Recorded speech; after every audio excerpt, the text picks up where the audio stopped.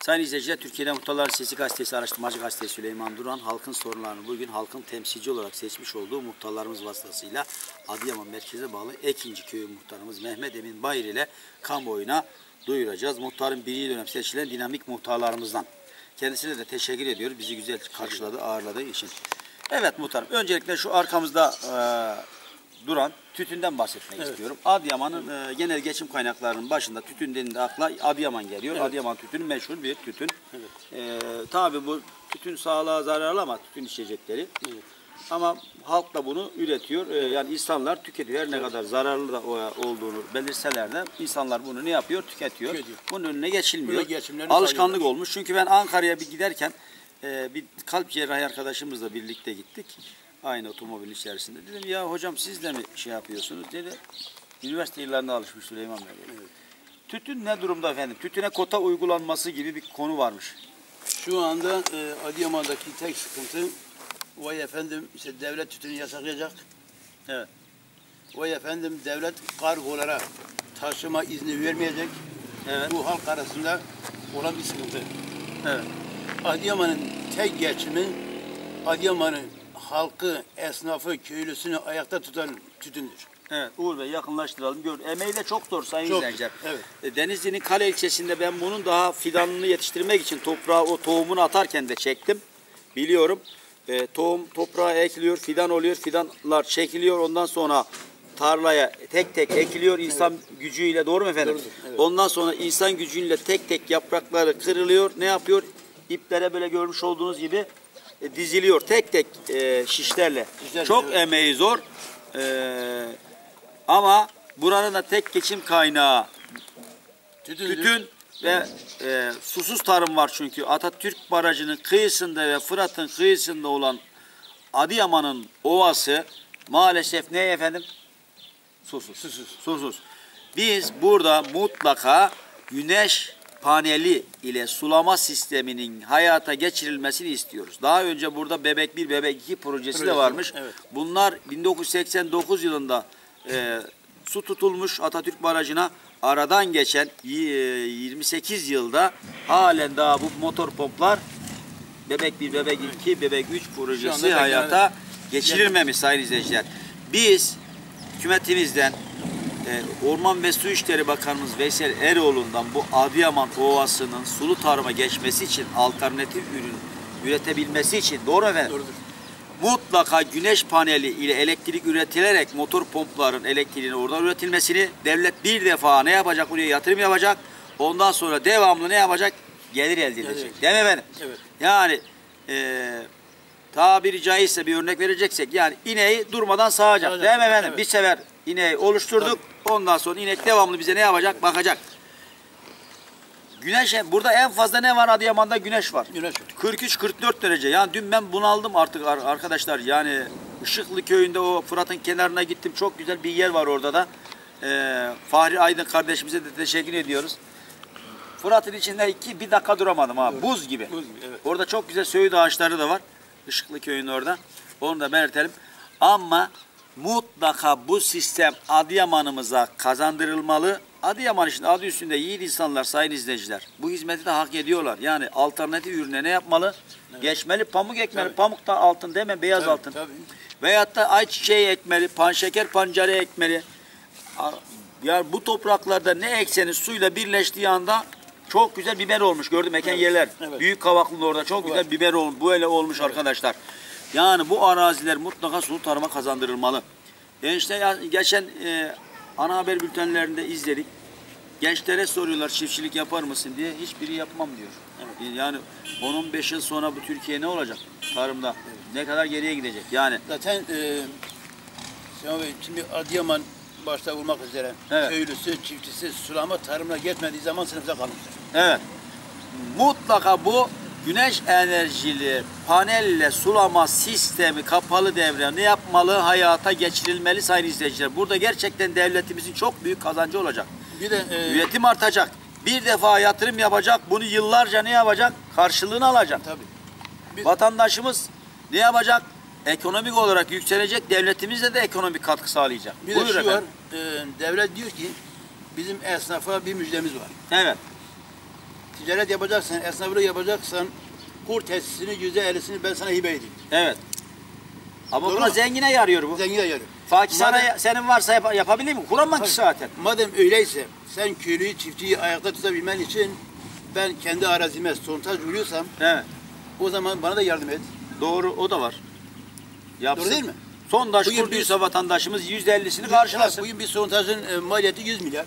Evet. Yüzde elli eğer çiftçi, e, esnafa e, bahşiş veriyorsan Evet. köylüye de ver. Ama sur burada bol. Sondaja bile gerek yok burada abi. Fırat kıyımızdan Yok şu akıyor. anda zaten e, Doğru kurak- mu efendim? Şu anda kuraklık olduğu için millet sontaj veriyor. Evet.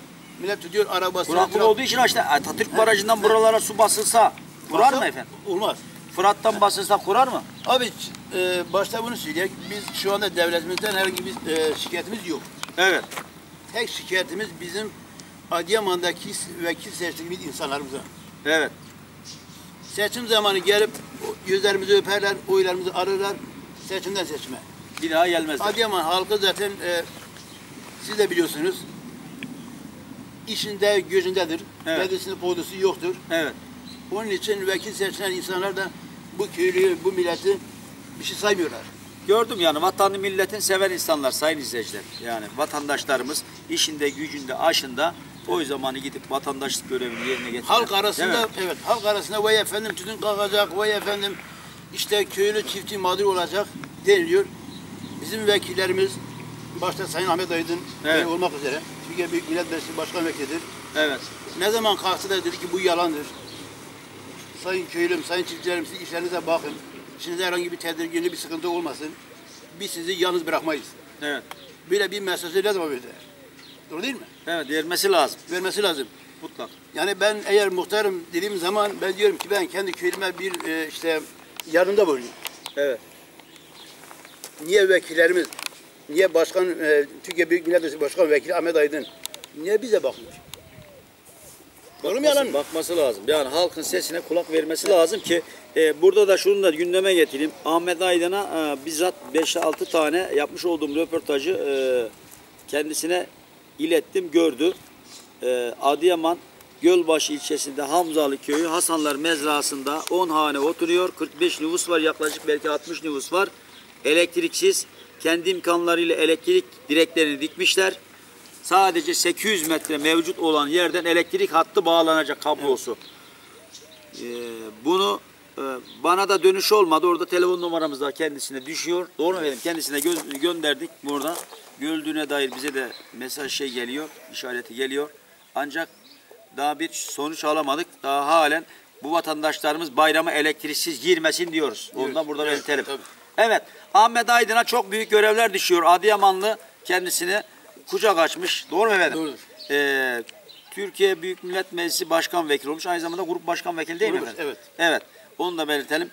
Ee, Mutlak Ahmet Aydın'ın Halil İbrahim Fırat'ın, Salih Fırat'ın ve diğer milletvekillerinin de bu konuda duyarlı olmasını istiyoruz. Türkiye Büyük Millet Meclisi'nde bunu gündeme getirmelerini istiyoruz. Diyoruz, evet. Adıyaman'ın bu sulu tarıma geçmesi bu milletvekillerimize de bağlı diyoruz. Yani bir de bu Orman ve Su İşleri Bakanı Sayın Veysel Eroğlu mutlaka ne yapmalı? Adıyaman Ovası'nı gelip ziyaret etmeli. Vatandaşın, çiftçimizin sıkıntısını yerinde ne yapmalı? Görmeli. bir de bu Aşema Bey. Eğer halk bu tütünle ayakta durmak istiyorsanız, Evet. Doğru değil mi? İstiyorsa Ha istiyorsa, halk üretiyorsa halkından al bir vergi al. Evet. için. zaten almıyor mu niye? Hayır. Tütün için şu anda bir vergi, devlet almıyor ki serbest piyasa. Ha, serbest piyasa yani. Serbest piyasa. Adı, kaçak mı? dedi? kaçak dedi. Evet. Şu anda he, madem öyleyse bunu resmileştirin. Doğru değil mi? Doğru katılıyorum bak. He. Vatandaş da ne istiyor bak. He. Vergimizi de verelim diyor. Vergimizi de verelim. Ama tütünümüze dokunma Ama diyor. tütünümüze dokunma. Evet, vergimizi vergimizi verelim ama tütünümüze dokunma. Evet. Bu devlet kanalıyla olsun. Her ne kadar tabi sağlığa zararlı da olsa bu tütün ürünleri ama bunu da vatandaş üretiyor ve kullanıyor. Şimdi, e, bunu burada- engelleyemiyoruz. Engelliyor, eli engelleyebiliyor? Şimdi Biliyor burada muyuz? e, Bilemiyoruz. Sayın, e, Sayın Cumhurbaşkanımıza biz teşekkür ediyoruz. Evet, Başta bu kaçak sigaraları durdurduğu için. evet. Yoksa bizim e, köylü millet olarak durumumuz iyi değildi. Bir kilo tütün 5 milyondu. Doğru. 5 liraydı yani. 5 liraydı. Şimdi kaç lira efendim? Şimdi 15-20 lira gidiyor. Evet. Çok iyi. E, çok iyi. E, bunda işte tek e, alternatifi Sayın Cumhurbaşkanımızın bu konuda hassas olduğu kaçak sigaraların önünü kesmek. Evet. Madem Sen- böyle yapıyorsanız bir güzellik daha yapın. Bu halkın içindeki bu sıkıntıyı, bu tedirgini kaldırın. Milletin işine, gücüyle baş başa bırakın. Bir de size teşekkür ederiz. Evet. Daha önceden tekel vardı biliyorsun Evet. değil mi efendim? Tekel Yani- kalktı zaten. Evet. O fabrikada Adana'daki kapandı. Evet. Birçok yerde kapandı galiba sayın izleyiciler. Ancak e, arkadaşım yani bu da vatandaşımızın yani Türkiye Cumhuriyeti vatandaşlarımızın üretmek olduğu, üretme zorunda kaldığı çünkü susuz tarım var. E, buna da devletin ne yapması lazım? Destek olması Destek lazım. olmalı.